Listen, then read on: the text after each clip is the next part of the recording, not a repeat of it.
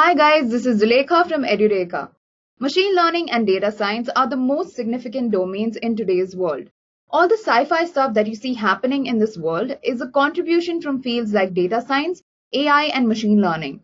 With this in mind, we'll be looking at an interesting topic today. We'll discuss the distinction between machine learning and data science. So without any further delay, let's take a look at today's agenda. So we're going to begin this session with defining what exactly data science is.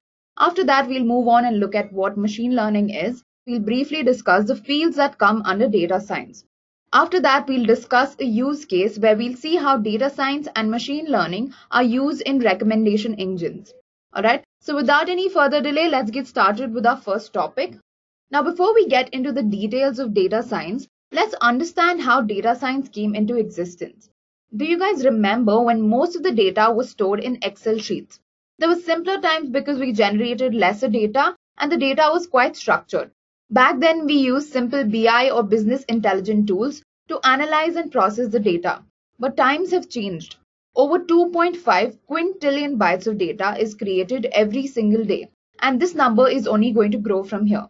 It is estimated that by 2020, 1.7 MB of data will be created every second for every person on Earth. Can you imagine how much data that is? How are we going to process this much data? Not only that, the data generated these days is mostly unstructured or semi-structured.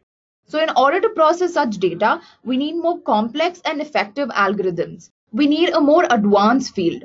This is exactly where data science comes in. Data science is all about uncovering findings from data by exploring data at a granular level to mine and understand complex behaviors, trends, and inferences in the data. It's about surfacing hidden insights that can help enable companies to make smarter business decisions. For example, I'm sure all of you have binge watched on Netflix. Now, Netflix data mines movie viewing patterns of its users to understand what drives user interest. And then it uses this data to make decisions on which Netflix series to produce. Similarly, there is Target. Now, Target identifies each customer's shopping behaviors by drawing out patterns from their database. All right, this helps them uh, make better marketing decisions. Now that you know why data science is important and what exactly it is, let's move ahead and discuss what machine learning is. So guys, the idea behind machine learning is that you teach machines by feeding them data and letting them learn on their own without any human intervention. To understand machine learning, let's consider a small scenario. All right, let's say that you've enrolled for some skating classes and you have no prior experience of skating. So initially you'd be pretty bad at it because you have no idea about how to skate. But as you observe and pick up more information, you get better at it. Observing is just another way of collecting data. Just like how we humans learn from our observations and our experiences, machines are also capable of learning on their own when they are fed a good amount of data. This is exactly how machine learning works. It's the process of getting machines to automatically learn and improve from experience without being explicitly programmed. So guys, machine learning begins with reading and observing the training data to find useful insights and patterns in order to build a model that predicts the correct outcomes. So the performance of the model is then evaluated by using the testing dataset. Now this process is carried out until the machine automatically learns and maps the input to the correct output without any human intervention. Alright, I hope all of you have a good idea about what machine learning is. Now, if you guys want to study more about machine learning or data science, I'm going to leave links in the description. Y'all can check out those videos and then probably get back to this video.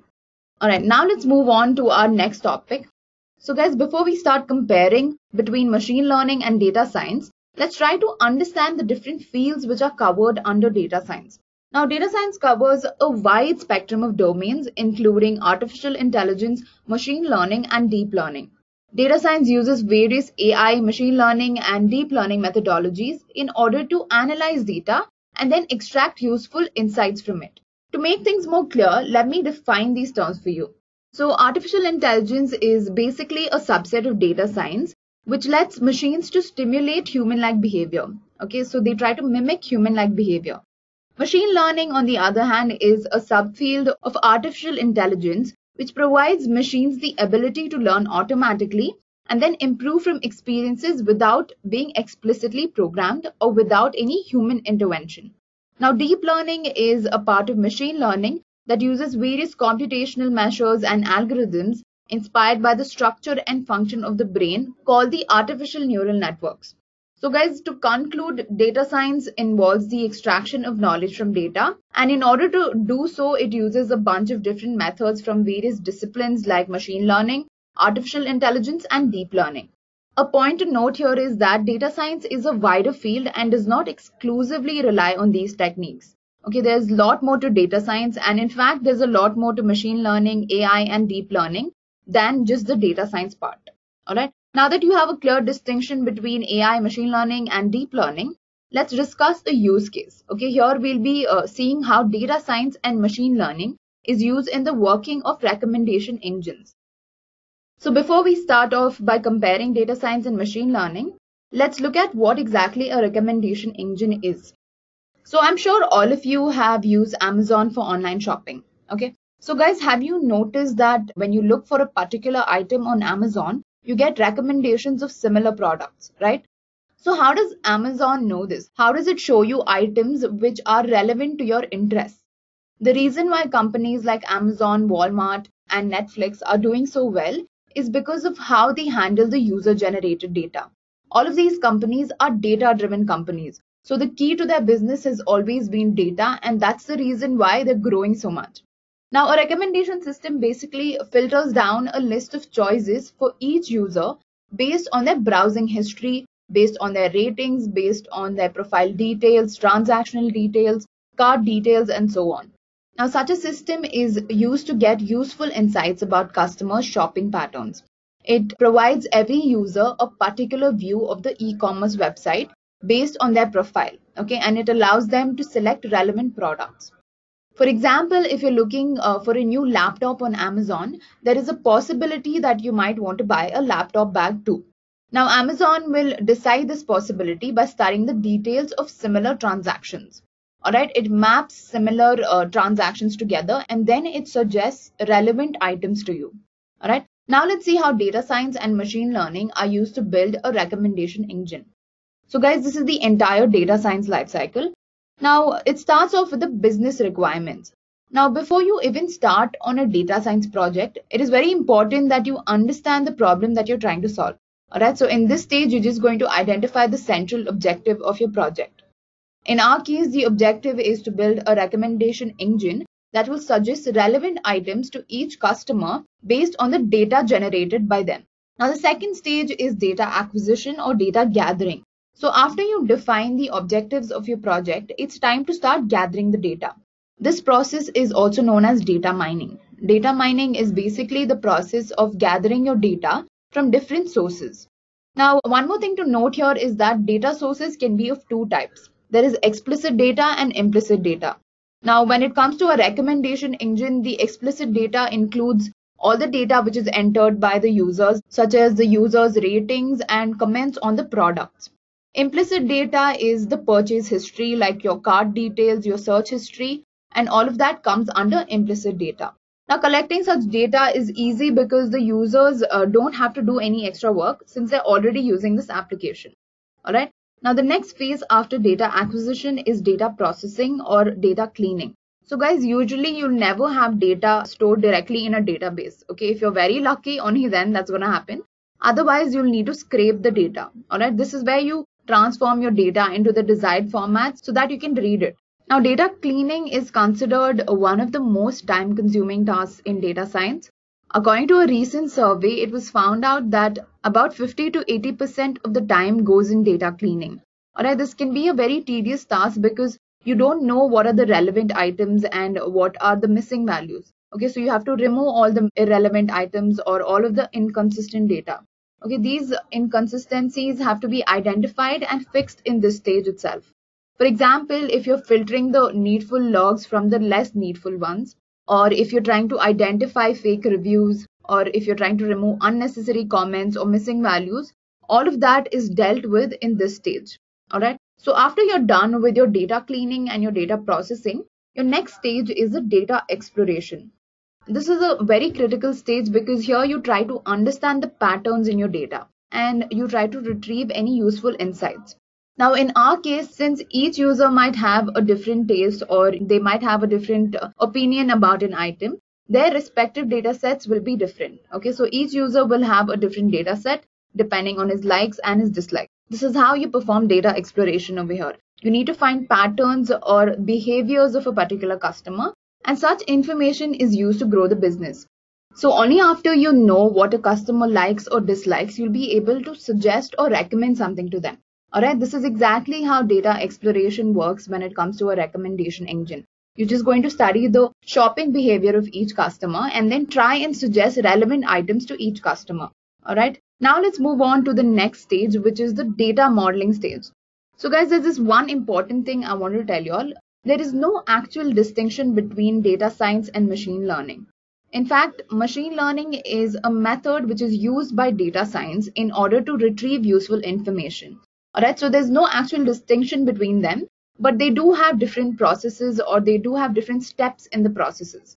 So the next stage that I'm going to talk about in the data science lifecycle is known as modeling.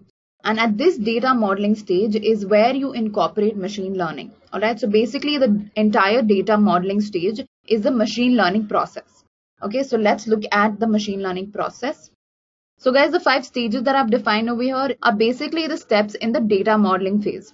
Okay, now in the data modeling phase is where machine learning is implemented. So let's look at how machine learning works, okay, step by step. So there are five uh, distinctive stages in machine learning. It begins with importing your data. So guys, the data that we already gathered in the previous stages, you're going to import that data for the machine learning process. Now this data has to be in a readable format. Okay, it can be in the table format or you can also use formats like the comma separated versions.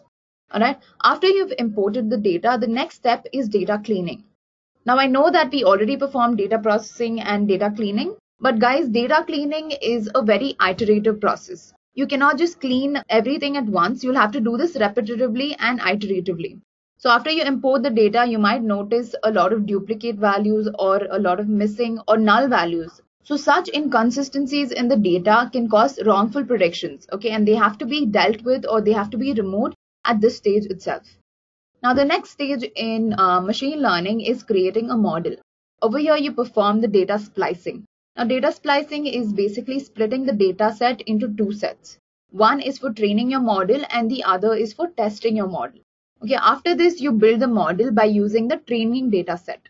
Now how do you create these models? These models are nothing but your machine learning algorithms like k-nearest neighbor algorithm, support vector machines, linear regression and so on.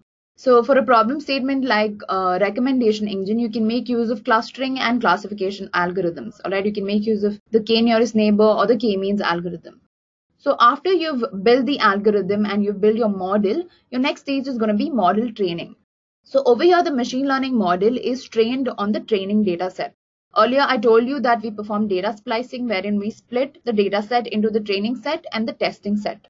So in model training, obviously, you're going to use the training data set. Also, let me tell you that a large portion of the dataset is used for training so that the model can learn to map the input to the output on a set of varied values. Next step in machine learning is the model testing. Now, after you've trained the model, it is then evaluated by using the testing dataset. At this stage, the model is fed new data points and it must predict the outcome by running the new data points on the machine learning model that was built in the earlier stage. Now the last stage is improving the efficiency of the model. Right, so after you create the model and you evaluate it using the testing data, its accuracy is calculated. So guys, a lot of methods can be used for improving the accuracy. You can make use of cross-validation techniques and all of that. So after you improve the accuracy and the efficiency of your model, you can finally come back to the last phase of the data lifecycle, which is deployment and optimization.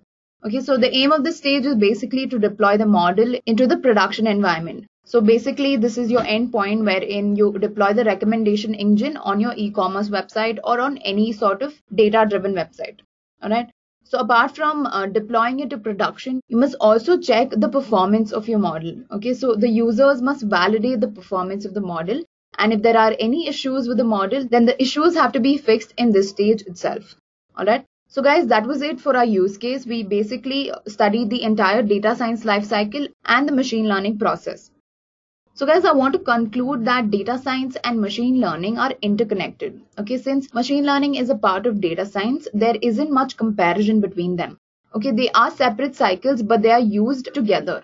Okay, so machine learning aids data science by providing a suite of algorithms for data modeling, for decision making, or even data preparation. Okay, on the other hand, data science, what it does is it stitches together a bunch of ideas or a bunch of algorithms drawn from machine learning to create a basic solution. All right. So guys, with this, we come to the end of today's session. If you have any doubts regarding today's session, please leave them in the comment section and we'll get back to you at the earliest. So guys, thank you so much for watching this video. Have a great day. I hope you have enjoyed listening to this video. Please be kind enough to like it and you can comment any of your doubts and queries and we will reply them at the earliest. Do look out for more videos in our playlist and subscribe to Edureka channel to learn more. Happy learning!